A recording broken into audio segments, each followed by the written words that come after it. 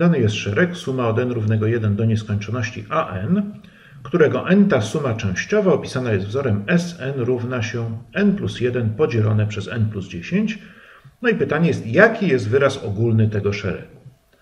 Czyli co? Czyli, czyli mamy Sn, pytają nas o an. Jaka jest formuła, jaki jest wzór na an? No a mamy wzór na sumę n, n pierwszych wyrazów tego szeregu. Czyli co? Napiszmy może wyraźnie, co to jest to Sn. A1 plus A2 plus A3 plus A4, może jeszcze plus raz kropeczki, plus AN minus 1 plus ANO. I to wszystko, prawda, to wszystko razem, ta suma to jest, prawda, to wszystko to jest Sn. No, pytają nas o AN. No ale widzimy, że jeżeli suma n pierwszych wyrazów to jest Sn, to an to jest suma n wyrazów minus suma o jeden wyraz mniej, prawda? Czyli natomiast suma tutaj, suma tych wszystkich to jest Sn minus 1. Prawda? Wobec tego, co to jest an?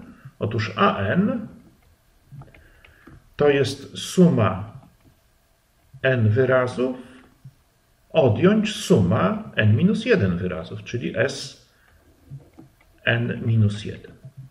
No i teraz wiemy, wiemy jak się wyraża suma n pierwszych wyrazów, no dla każdego n, prawda? Mamy tutaj tę formułę, no czyli wpiszmy tutaj tę, tę formułę dla n i dla n-1. No wtedy dostaniemy jak an wyraża się przez n, czyli Sn to jest n plus 1 przez n plus 10.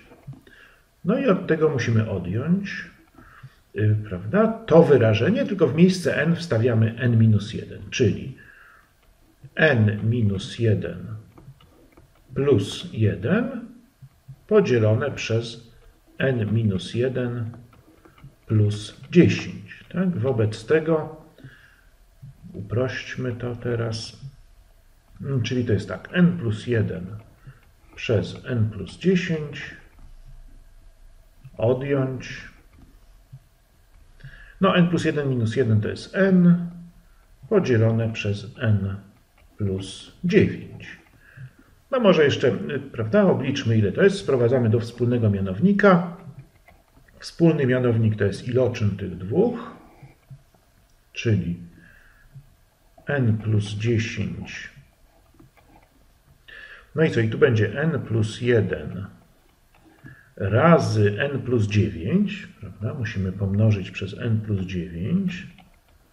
Czyli tu jest n plus 10 razy n plus 9, czyli to jest pierwsze wyrażenie i od tego odejmujemy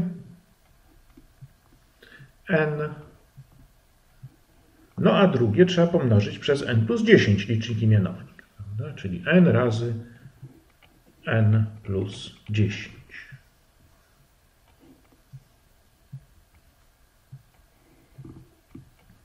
No dobrze, no i teraz obliczmy ile to jest. Yy, czyli tak, no tu mamy n kwadrat, potem jest plus 9n, plus n i plus 9. I od tego odejmujemy. Dobrze jest tutaj sobie postawić nawias, żeby się nie pomylić n kwadrat i tu jest 10 plus 10n. No i przez mianownik, czyli n plus 9 razy n plus 10. No i co? I tutaj mamy tak, n kwadrat minus n kwadrat, 9n plus n to jest 10n i minus 10n, czyli zostanie tylko 9, prawda? Tu jest mm, no tak? Czyli w liczniku zostanie 9, a w mianowniku n plus 9 razy n plus 10. Tak, czyli wyraz ogólny tego szeregu an dany jest wzorem 9 podzielone przez n plus 9 razy n plus 10.